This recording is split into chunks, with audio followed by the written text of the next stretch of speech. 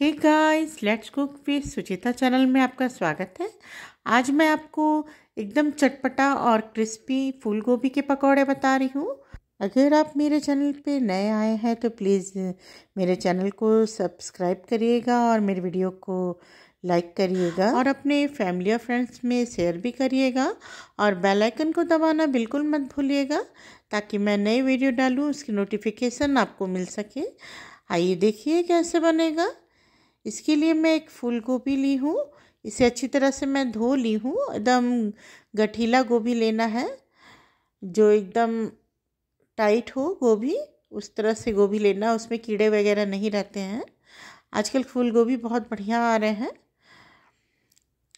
इसे मैं पीसेस में कट कर ले रही हूँ। इसकी डंठल सब निकाल करके छोटे छोटे पीसेस में कट कर ली हूँ। अब मैं इसमें बॉयल पानी डाल रही हूँ। एकदम बॉइलिंग वाटर है, इसे डाल रही हूँ और एक चम्मच नमक डाल करके मैं दस पंद्रह मिनट के लिए इसे रख दूँगी।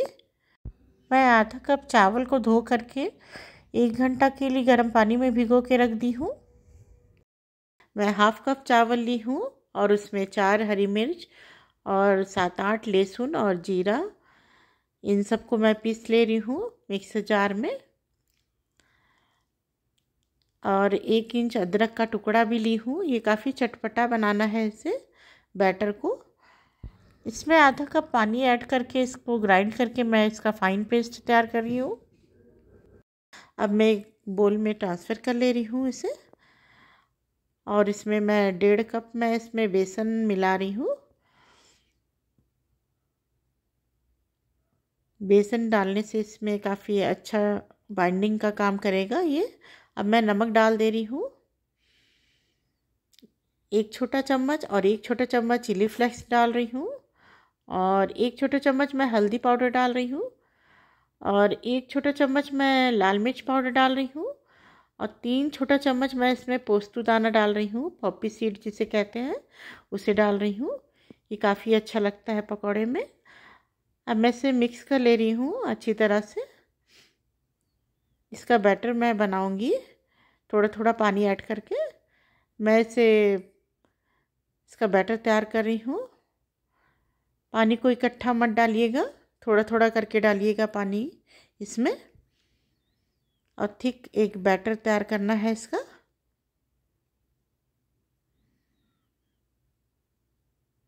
देखिए, इस तरह से बैटर बनेगा इसका। इतना गाढ़ा रहेगा ये? अब मैं इसमें धनिया पत्ता मिला दे रही हूँ। बारीक कटा हुआ। इसे भी मिक्स कर ले रही हूँ इस बैटर में।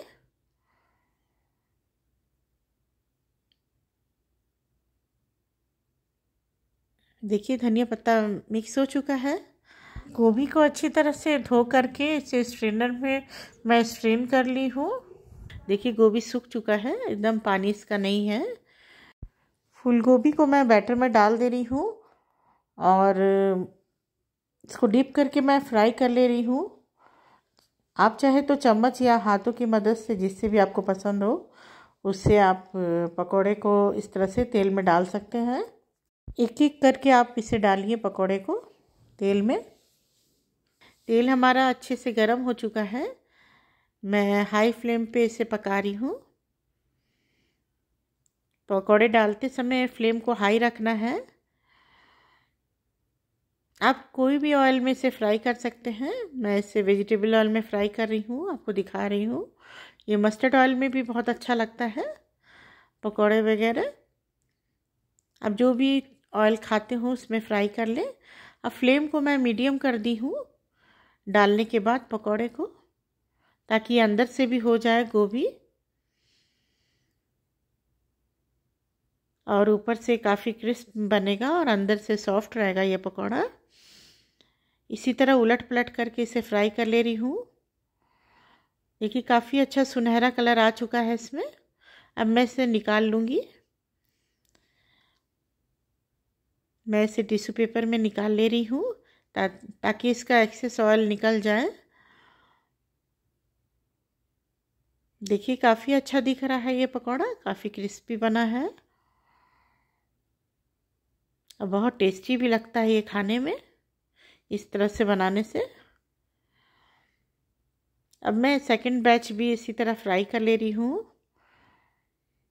देखिए, इस तरह से फ्राई करना है। सेकंड बैच को भी मैं फ्राई कर ली हूँ। अब इसे भी निकाल ले रही हूँ। पकौड़ा हमारा रेडी हो चुका है। ये काफ़ी टेस्टी बना है और बहुत क्रिस्पी है ऊपर से और अंदर से बहुत सॉफ्ट है। इसमें मैं जो पोस्तों के दाने डाली थी वो भी देखिए दिखाई दे रहा है। काफ़ी अच्छा लग रहा है ये। बहुत टेस्टी लगता है। इसे ज़रूर ट्राई करें अपने घर में और अपने एक्सपीरियंस मुझसे शेयर करें। कमेंट बॉक्स में कमेंट करके बताएँ कि आपकी फूल गोभी के पकौड़े कैसे बने। प्लीज़ लाइक, सब्सक्राइब, शेयर करना ना भूलें। Thank you.